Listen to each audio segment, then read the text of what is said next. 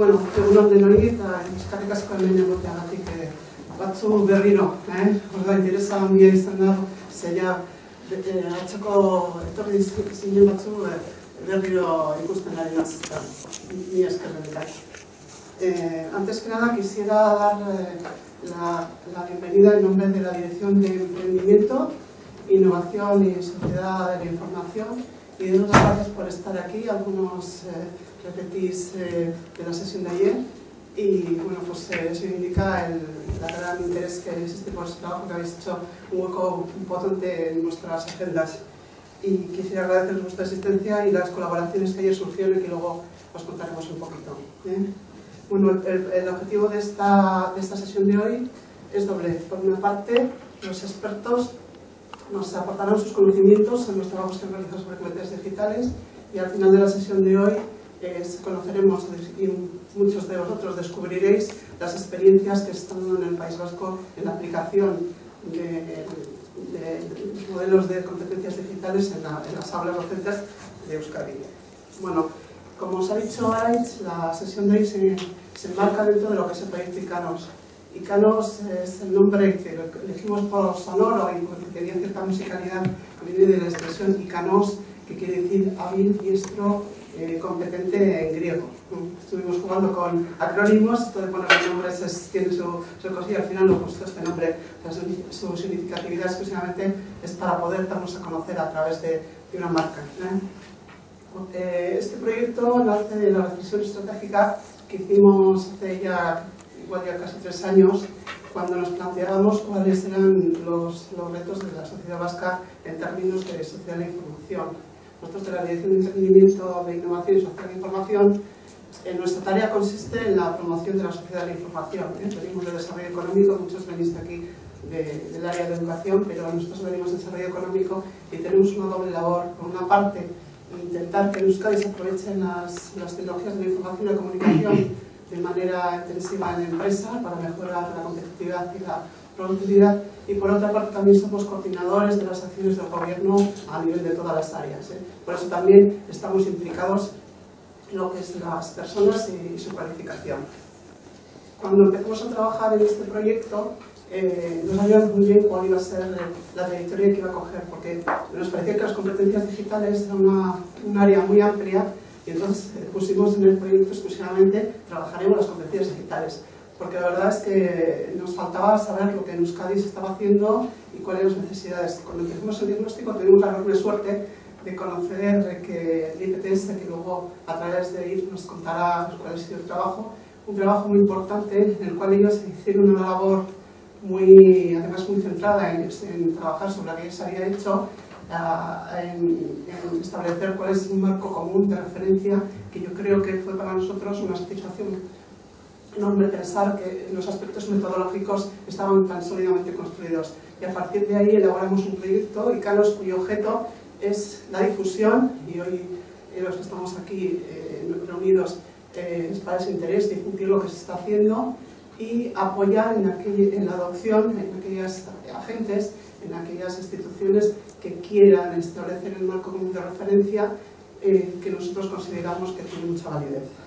Como sabéis, y si no os lo cuento, en el informe de los en el año 2006 se establecieron cuáles son las ocho competencias clave, las competencias básicas que tenía que tener todo ciudadano moderno, y en ellos eh, se construyó la competencia digital como una de las competencias referenciales. Una competencia que es esencial para la mejora del aprendizaje, que es esencial para la mejora de la creatividad y también para el empoderamiento. A vista de ello, eh, eh, nosotros comenzamos a pensar qué es lo que en Euskadi podíamos trabajar en ello. Y vimos que lo muy importante era, en esa agenda digital que nosotros habíamos construido, poner también en la agenda de las personas y las organizaciones de Euskadi el concepto de competencia. Porque hasta, ahora, hasta, hasta hace poco tiempo, ahora ya empieza a verse intensamente, bueno, a nosotros nos parece que estamos todo el día viendo esa expresión, se estaba trabajando mucho en conocimientos, en adquirir conocimientos, en tecnología, en las cosas nuevas, y faltaban dos, competentes, dos componentes eh, importantes de lo que es la competencia, que son las habilidades y las actitudes. Y entonces nosotros, eh, siguiendo la, línea de trabajo de Dolores Rey, veíamos que era muy importante que veíamos ese cambio de hablar exclusivamente de TIC hablar de TAC, de las tecnologías del aprendizaje de la comunicación, y ya en un estadio más avanzado hablar de las TEP, tecnologías del empoderamiento y la participación. ¿Por qué pensamos que, las competencias digitales tenían que ser un punto relevante dentro de nuestra agenda digital? Bueno, pues voy a enumeraros eh, tres factores que nosotros creíamos que, eh, hacía que tendríamos que poner una posición relevante. Uno de ellos es la incidencia en la mejora de la empleabilidad. Cuando reflexionábamos en torno al plan estratégico, eh, ya empezaban a verse un punto de inflexión importante en las tasas de desempleo. Mucha, por la evolución económica y por la debilidad, una importante cantidad de, personas se veían expulsadas del mercado de trabajo. Y nosotros veíamos que una mejora de, sus competencias en términos de tecnologías de la comunicación podía ser muy importante para mejorar esa empleabilidad y eh, las tecnologías les podían eh, ayudar a ser más activos en cuanto al cambio, a tener una actualización profesional más importante, en, dotarles de mayor flexibilidad, ya que el know-how que muchas veces tenían ya no era válido dentro del mercado, y también incluso, y con una, con una idea muy importante, eh, a estar preparados incluso para futuros empleos que en la actualidad no existen y que las tecnologías nos van a permitir. Otro de los factores muy relevantes que, que aparecía cuando, cuando estábamos reflexionando era eh, todo el efecto que había tenido, bueno, el efecto estaba implantándose a través de Escuela 2.0, cómo eh, los dispositivos tecnológicos estaban presentes en las aulas, en las aulas de, de todos los alumnos de, los primeros niveles de la, de la ESO. Eh, en el tercero de los, de, las, eh, de los factores veíamos que era muy importante como elemento palanca, como vector palanca para la innovación, para el emprendimiento y la competitividad.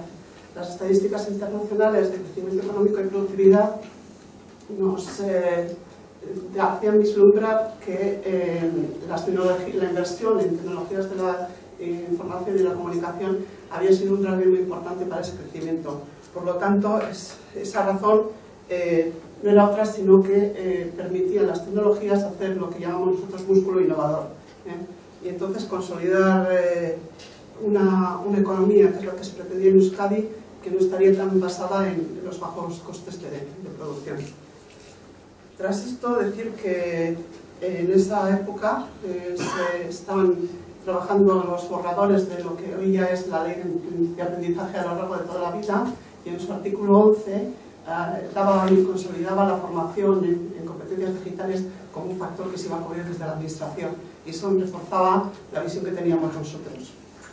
Bueno, como os ha dicho la sesión de, de hoy es la continuación de las sesiones que ocurrieron, una sesión de trabajo muy intensa que estuvimos ayer en las que un grupo un poco más pequeño del que estamos aquí, eh, de personas eh, que ya conocían, muchas de ellas, cuál es el marco conceptual que para vosotros, pues de vosotros va a ser hoy una presentación inicial.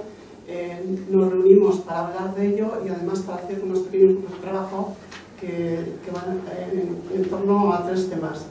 Uno, los descriptores que tienen el marco conceptual y su posible ampliación y su consolidación el establecimiento de posibles perfiles y de niveles dentro de lo que es las competencias digitales, otro el tema de la certificación y de la evaluación, y por último lo que implican estas competencias digitales en torno a las nuevas formas de aprendizaje.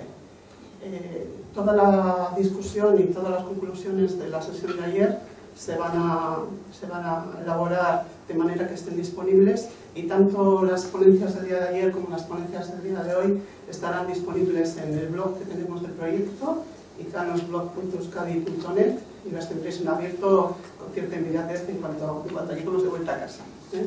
Y bueno, yo no tengo más que decir que reiterar mi agradecimiento. Voy a aprovechar también para reiterar el agradecimiento al equipo que, que me apoya en la evaluación de este proyecto, que esto más de tres meses con nosotros trabajando, como son a Roberto, a Ignacio, a Reis y a Íñigo, que sin ellos pues ni la jornada de hoy ni, ni mucho del trabajo que yo creo que veréis que se ha elaborado no se podía haber hecho. Muchísimas gracias.